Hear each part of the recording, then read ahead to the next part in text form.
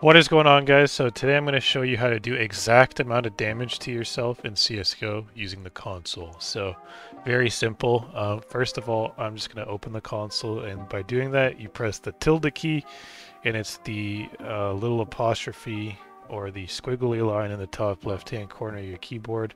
So that opens the console and then um, the command is hurt me, so if you type in hurt me and then you type in a number, that's how much damage is going to be done to you. So if I do hurt me 15, look in the bottom left hand corner right now, and then I'm going to hit enter. It just did 15 damage to me. And you can do that, like, let me do hurt me 70. I have 5 health left. And what happens when you have zero health left is it kills you. So just keep that in mind. But if you want to do like some testing with weapon damage and things like that, like you want to want to have only 35 health left, so like hurt me um, 65, and then you want to walk away a certain distance, and your buddy can shoot you with like an M4, and you see if it one shots you or not.